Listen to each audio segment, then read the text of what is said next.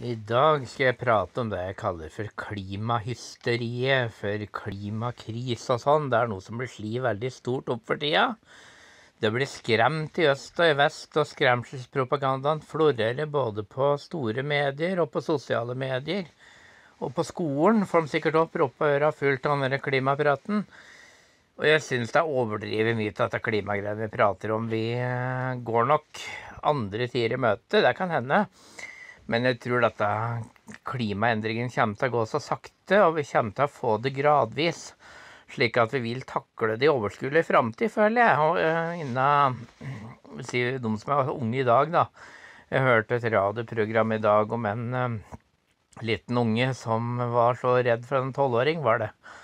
Som hadde vært så opptatt av dette med klima og sånn, så hadde han begynt å lese nyheter på sosiale medier og så hadde han blitt så nedfor utafor og hadde gitt opp, liksom, for dette hadde han ikke noe tro på at han skulle klare. å Dette var så fælt at dette fikk han ikke gjort noe med mente han. Og det er et tegn på at vi er altfor ivrige på å proppe ungene våre full med denne klimapraten.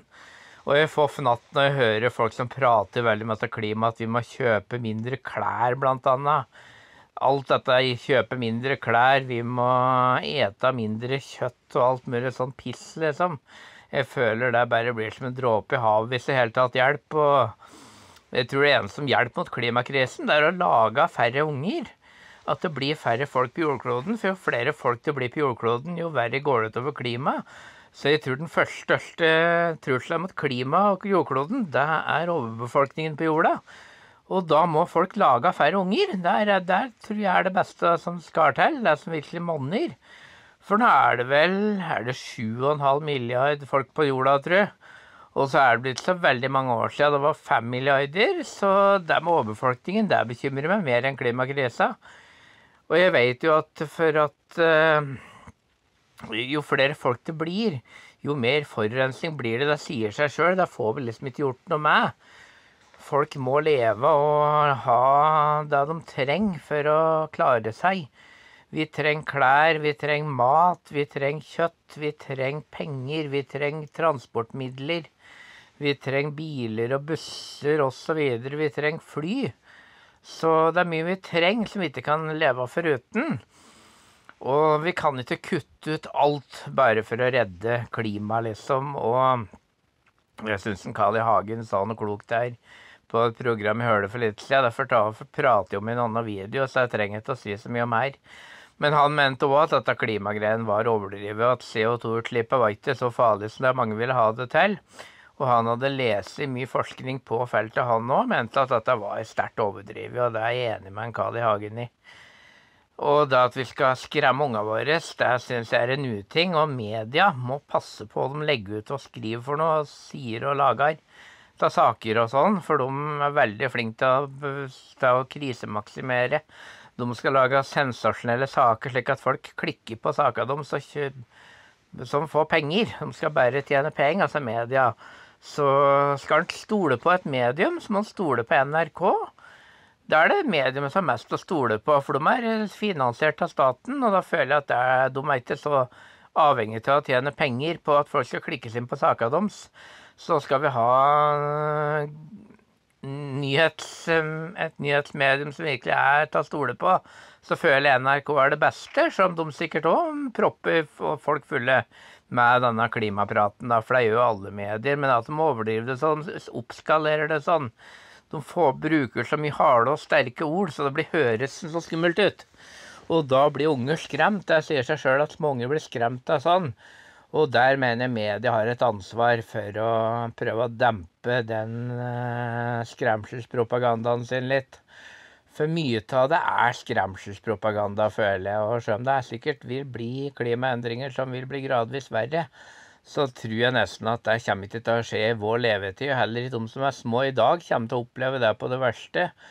Og jeg tror det blir lenge, lenge til at kloden virkelig går under. Jeg tror det er mer fare for at det kan bli atomkrig og slike ting.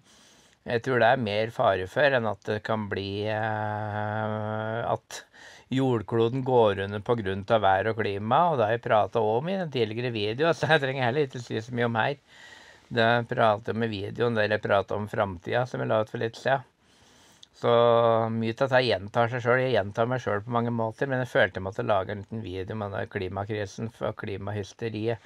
Når jeg hørte han der ungen hadde blitt så utafor, han fikk begynt å lese på sosiale medier og fikk se at det var veldig ille, liksom.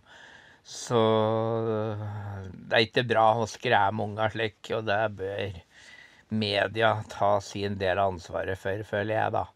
Så vi skal jo ta vare på jordkloden, så klart, men det går en grense for hvor mye vi skal gjøre for å motvirke klimaendringer. Jeg tror ikke vi får motvirka så mye heller. Jeg tror dette kommer til å gå sin gang, samme og vi her, i hvert fall her i Norge gjør. Vi er i Norge gjør, for vi har fem millioner, tar sju og en halv milliard totalt. Så det vi gjør i Norge, det er som en dråpe i havet, føler jeg. Og selv om det kanskje ikke er noen grunn til å ikke gjøre noe, så syns jeg vi det blir så overdrevet og, og, blir så hausa opp, liksom, og det føler jeg ikke er bra.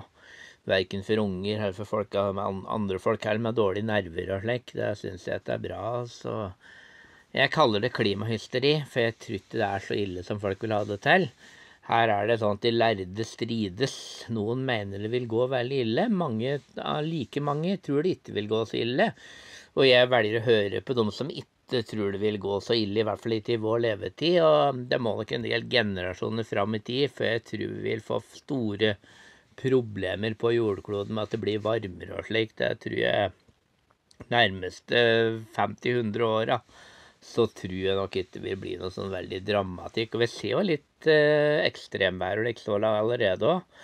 Vi har jo hatt ekstremvær, men ikke sikkert det er nødvendigvis kun kommer til klimaendringen. Det kan være sånne tilfeldige variasjoner i det. Så vi skal ikke tilskrive alt for at vi slipper ut CO2. Det vil CO2 folk maser mest med, da. Men vi skal vel ikke tilskrive alt den CO2-en, tror jeg. Jeg tror det er andre ting som påvirker det òg. Og um, naturlige endringer som vil uh, vare der uansett hva vi gjør og ikke gjør. Så for min del så tar jeg klimahysteri med knusende ro. Jeg er mer redd for Putin og han kan finne på, for å si det på den måten.